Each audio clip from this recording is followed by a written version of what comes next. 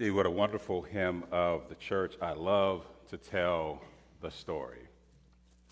Friends, for the next few moments, which are ours, allow me to focus our attention on this theme of encouragement. Simply stated, it's not over. It's not over. Let's pray.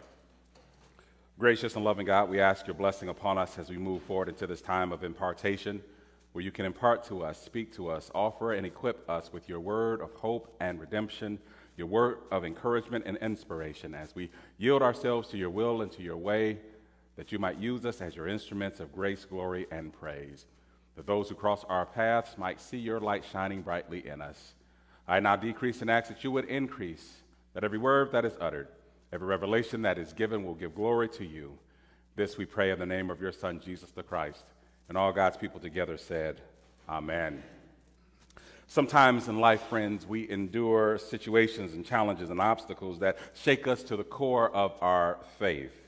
We pray fervently, but it appears God has not heard, or worse yet, that God is ignoring us. Doesn't God know the desperate situation that we find ourselves in? Doesn't God know, see, and understand that we are at our wits' end? Doesn't God understand and know that, that we have and we need something right now? We are in desperate straits. Doesn't God understand? And didn't God make us the promise that all we needed to do was to ask and God will give it to us, that God will never leave us nor forsake us? But sometimes it certainly feels like God has left us all alone. Yes.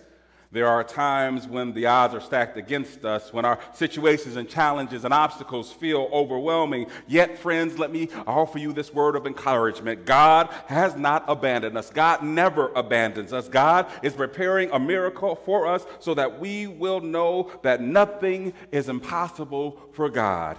It's not over.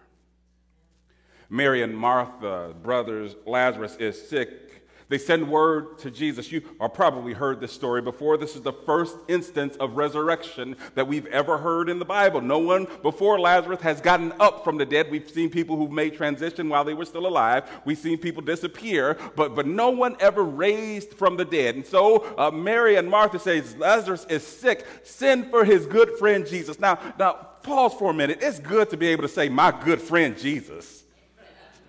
We sing about. What a friend we have in Jesus. What?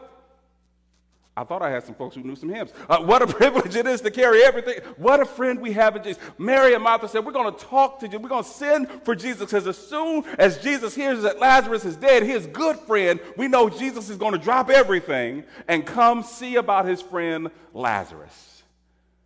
Well, the text tells us that when the messenger goes to Jesus, says, Jesus, Mary, and Martha have sent me to tell you that Lazarus is sick and they're worrying about him dying. I'm sure the messenger was expecting Jesus to say, Well, let's get everything and let's go. And so, as the messenger's starting to head around, he, he turns around and looks back and says, Jesus, you're not, you're not.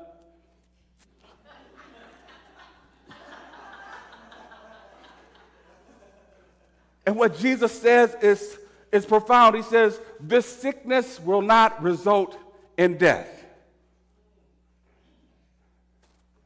Mary Martha told me to come get you. I told you we're supposed to be leaving. Jesus says, No, no, no, no. This sickness will not result in death. And what the text tells us is what sometimes hurts us to our core. Jesus stayed where he was another two days. Lord, don't you know how desperate we are? Don't you know that I'm at my wits' end? Don't you understand that, that this situation that I'm going through is untenable? Don't you understand that I'm feeling overwhelmed? Why would you stay another two days when you know I'm in trouble? I'm your good friend, at least on most days. Don't you understand? I've been in church all my life. I show up every time. Yes, I'm still working some things out, but, but Jesus, I expect you to be there when I call. Why are you waiting to rescue me? Why are you waiting to come see about me? We've dismissed what Jesus says. He says, Don't worry about this. This will not result in what you think it will be. Although right now it hurts, although right now it, your imagination is running wild with you and you're saying to yourself that this is going to be the worst thing ever, Jesus says to us, don't worry, it's not going to result in the worst thing ever to happen. It's not over just because you can't see a possibility. I'm telling you, it will not happen the way you think it will. So Jesus turns and goes back to what he was doing probably ministering to the needs of hurting and broken people, probably healing some sick, teaching some folks, probably offering some hope and joy to people where he was who, who were saying to themselves, oh, Jesus is getting ready to leave, and, and I, my baby hasn't been blessed yet, my, my situation hasn't been touched yet, my, my, I haven't had a chance to get close enough to hear Jesus for myself. And, and to their surprise, Jesus says, no, no, no, I'm here for another two days. The messenger returns to, to Mary and Martha and says, um, I got some good news and I got some bad news. And Mary and Martha could already see what the bad news is. We told you to go get Jesus. You came back. Where's Jesus? Well, that's the bad news. Jesus said something cryptic, something along the lines of this will not end up in death, that some, you know, something along, you know how Jesus does. He talks his riddles and stuff. Yeah, yeah. Well, you ask him when he gets here. I don't understand what he said. But the good news is he said something that it won't result in something, whatever we thought it was going to be. So that's good news. Now, let's do some, some biblical math for a moment. Let's do some biblical math for a moment. Because the text tells us that when Jesus finally arrives, that Lazarus has been dead and in a tomb for how long? Four days. Four days. Now, I'm not a mathematician, and I, I, I, did okay in math, but I'm not a math scholar. My daughter's a math scholar, but no, no, no. Uh, um, took two extra days. By the time you got there, let's say it took a day and a half, uh, that's three and a half days. By the time you got there, he was already in the tomb four days. Now, Jewish burial rites means that when you die, they immediately bury you. So uh, within the time that the messenger got to you, Lazarus had died. Y'all following me? Everybody on the same page, right? We're good. We're good. Two days. You stayed there. If you had come back within those two days, Lazarus would have still died. Because he's in the tomb for. So, Mary and Martha's plea if you had just been here, Lazarus would not have died is not actually true. Now, we understand that feeling. We understand that plight. If you've ever had someone close to you die and you prayed, Lord, heal them, provide them with some miraculous miracle, and they still died, you asked, Lord, Lord, why didn't you bring life to this situation that I prayed for fervently and it still happened the way I thought it was going to happen? We can understand their grief, they're overcome, that their brother beloved is dead, and Jesus, upon coming, and they're here, you took two extra days to get here. Why did you take two extra days? Maybe something could have happened if you got here sooner. Although we're not doing the basic math that, that he died, even if Jesus had come when we sent for him, he would have still died. That's a humbling thing for us to negotiate with that our faith does not guarantee that our prayers will be answered the way we want them to be answered.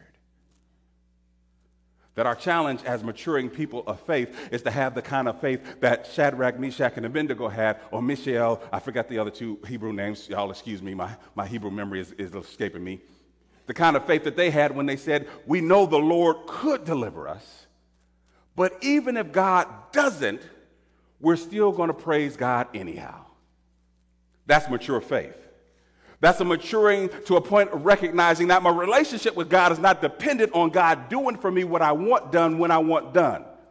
That I'm not looking at God to be a teller machine or a vending machine that I put in my prayers and what comes out is what I want right when I want it. Although, if you've ever been to a vending machine, every now and again you push the buttons and uh, what happens? Uh, it gets stuck. Uh, and some of us uh, know that whole hip movement. That didn't work? Okay, we're going to go to the other side. to try to shake it free, and then sometimes it doesn't shake free, and you have to do what? Call the number on the machine and say, I, I lost 50, well, not 50 cents, it ain't been 50 cents in a while. I lost $2 in this machine trying to get this candy bar I could have got from the store for $1.50. Why don't you answer when we call? And what we have to remind ourselves of is what Jesus says. What you think is about to happen is not really what's going to happen. That what you prayed for, that what you're looking for, you're, you're asking me to do something very narrow, but I'm trying to expand your horizons to imagine that maybe what you asked for for that loved one to have peace is no more pain. But no more pain means they come with me and they're no longer with you. That maybe what you're asking for in the transition and the hardship of what you're going through in your family is that sometimes you have to distance yourself from folks who may be blood relatives but have no good intention for you. That maybe what you're praying for, I'm answering, but not in the way that you want for it, but what's going to be beneficial for you and give glory to God later. That's when we know that we're maturing as people of faith when we can still love God and praise God when God doesn't do things the way we want them done, when we want them done, how we want them done, when God disregards our personal preferences, says, I've got something bigger in mind, something broader in store, and we can still say, you know what, Lord, I'd rather have your plan than my plan, because my plan has faults and flaws in it that I can't see, that you can see. So, Lord, whatever you're going to do, I know that it's not over just because what I see tells me it is. Jesus comes, meets Mary and Martha. And Mary and Martha are weeping, and there are those who are mourning and weeping as well. Lazarus is dead. Lazarus has had uh, has great reputation, well respected in and around the city of Bethany. And when Martha and Mary are weeping, uh, eh, we have that one phrase. Uh, I'm not sure how many of y'all uh, had this tradition around Thanksgiving that around Thanksgiving uh, everyone had to say something they were thankful for and a scripture. And one of the scriptures that us as kids, we all wanted to be the first one to be able to speak because we would say the one scripture that we knew real quick Jesus wept. Didn't have to do the 23rd Psalm, didn't have to do uh, John 3.16, didn't have to do any of those others. If you was the first kid, you got a chance to say, Jesus wept. And we see Jesus weeping over his friend, weeping over the anguish. So Jesus and God understands our plight. He knows what we're going through. Jesus weeps for us and Jesus weeps with us, but Jesus understands it's not over. Take me to where he is. And the text tells us uh, Jesus, you know he's been dead four days. And he's been in the tomb four days. And without going into any graphic detail, uh, after a, a, day or two, uh, your body starts doing some things that can't be undone. That there's an odor and an aroma that starts to happen uh, on day two and a half into three. That's one of the reasons why we embalm, so that those things can be stayed off. They said it's been four days, Jesus. Uh, if we roll this stone away, uh, there isn't enough uh, ointment and, and, and stuff that you can stuff in your nose that's going to help you deal with the smell of what happens when we roll the stone away. And Jesus says, Don't worry about it. Roll the stone away. Take me to where he is. They roll the stone away. The stench comes out of the tomb. So we smell what we know is true. But you told us to do something we haven't seen yet.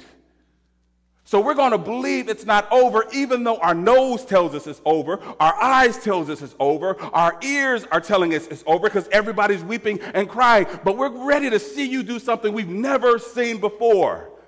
And Jesus says to Lazarus, "Get up, come out." Now I can imagine that there were probably some folks like me who were a little analytical in our understanding and saying, "Okay, uh, he dead." I, I know you're the great prophet, but again, none of us have ever seen what's about to happen happen. None of us have ever heard of what's about to happen happening ever in history. Never recorded that what's about to happen has happened. And so when Jesus says get up, we're half looking and saying, all right, Jesus, we just need you to be convinced that what's happened has happened. Oh, thank you, Holy Spirit. Sometimes the hardest thing for us to deal with is to walk with someone through a season of grief where they're refusing to believe what has ended is ended. It's not over. There's still some hope. There's still some possibility for reconciliation. No, it is done. And Jesus says to us, some things do come into those places of being complete and they're done, and we move you to a place of acceptance and overcoming those. But this one thing, friends, is not over. Lazarus, get up and come out. And so they start to see movement, and someone starts walking out of the tomb. Now, the text doesn't say this, but I'm using my Holy Ghost imagination that I'm sure somebody fainted, I'm sure somebody ran I'm sure somebody hollered because we're seeing something we've never seen before. And a dead man just walked out of a tomb. That don't happen. No, we've never seen that. And Lazarus, even himself, is realizing wait a minute. I know I was sick. I know I took my last breath. But I heard a voice saying, Get up.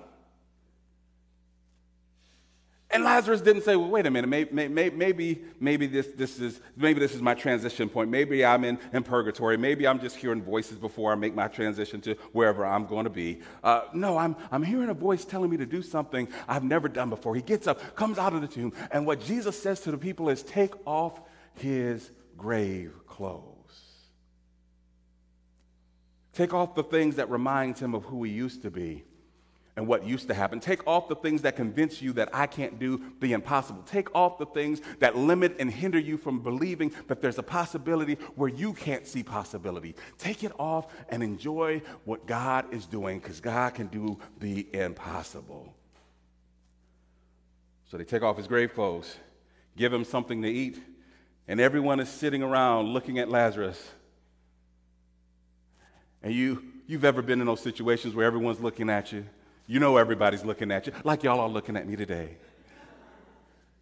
And you're looking into faces, and you know some of the faces are like, ah, when this is going to be over? I got dinner plans. The rain is still hard. You know folks are like, I got something to do after this. My grandkids coming over. I didn't, did I remember to turn off the iron? I don't know if I remember to turn off the iron. Did I turn off the? Did I make sure I put all the things that are running through his head? And people are looking at Lazarus, and Lazarus is looking at them like, I don't know either. We're experiencing something we've never experienced before. And Jesus is reminding them yes, I can do the impossible. Yes, I can do something that you never conceived of. You thought I had to be here in order to heal him, to keep him from dying. I told you it would not result in death, the death that you thought was going to be final. This was just a nap. So that I might offer you an opportunity to see that I can do what no one else can do. Jesus says, Your brother is alive. He's brought back to you. And Lazarus goes on and continues his ministry. And I'm, I'm sure that there was somebody uh, in his town of Bethany that every time they saw Lazarus, they, they did one of those, you know.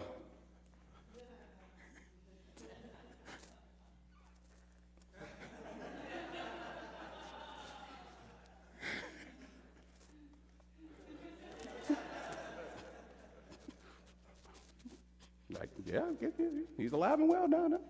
He's warm, he ain't cold. No, no, no, no doesn't stick now.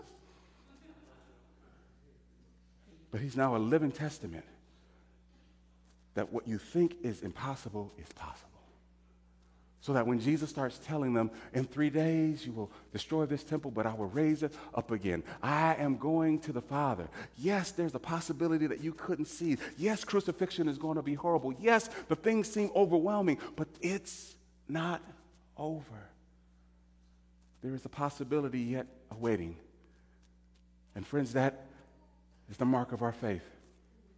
That's how we know that we're maturing as people of faith. When we're able to say, Lord, I don't know how, I don't know what, but you say that there's possibility. So I'm going to trust and keep my eyes and ears open to hear your ver- word of instruction, to see what you're going to do, to understand that there's something that I cannot perceive and conceive of that is going to bless not only my life, but the life of everyone around. Jesus goes to the tomb, raises Lazarus, Lazarus goes on to continue spreading the gospel, sharing with his sisters the great joy of resurrection and hope in Christ, that Jesus is unlike any other prophet, unlike anyone else they've experienced, and that if you follow this wonderful man, that if you follow his teachings, things in your life will change. Now, let me say this. Because sometimes we hear this message, it's not over, and we, we believe that God can fix everything, and therefore we can make bigger messes and know God's going to fix it.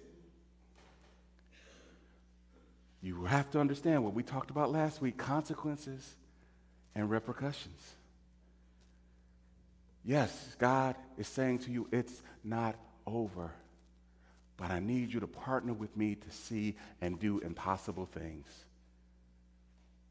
Jesus didn't roll the stone away from the tomb, he said, roll it away. Jesus didn't take off Lazarus' grave clothes, he said, take them off. Uh, Jesus didn't give Lazarus something to eat, he says, you give them something to eat. Says, I need you to partner with me to believe the impossible because I know how you are as children of God. Sometimes you got to see it, feel it, touch it for yourself for it to help you mature in your faith. Then God can do the impossible when faithful, faith filled persons are willing to see and partner with God to do the impossible. When we stand on our belief that God will take those things meant to destroy us and transform them into something that blesses our lives and the lives of those around us, that the worst thing that happens to us is not the last thing that happens to us, but it can be the thing that catapults us to a new understanding and a deeper relationship with God. When the weight seems too heavy, friends, remind yourself not to throw in the towel. For God says, it's not over.